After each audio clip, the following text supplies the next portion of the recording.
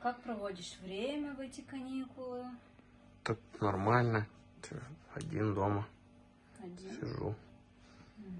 Как-то скучно. Что новенького, пока я уезжала на учебу?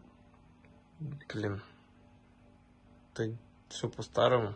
Ну, тебе прям все рассказывать.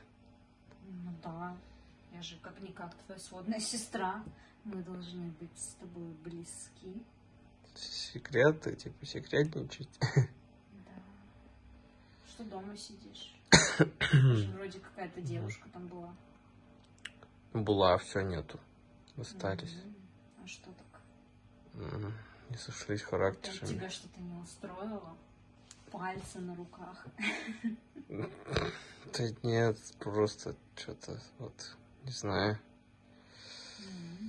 как-то Ну, что-то. наверное, характером не сошлись, да? Угу, ну верно. И когда вы уже расстались? Давно? Ну так.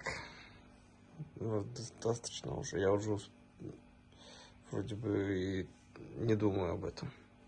М, Значит, ты одинокий, Ну, скучно тебе, да? ну, ну так, да.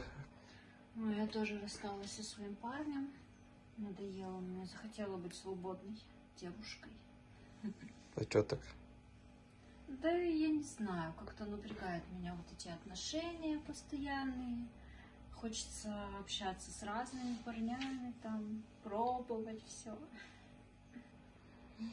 Ну, может, тогда чем-нибудь займемся, пока наших родителей нет дома.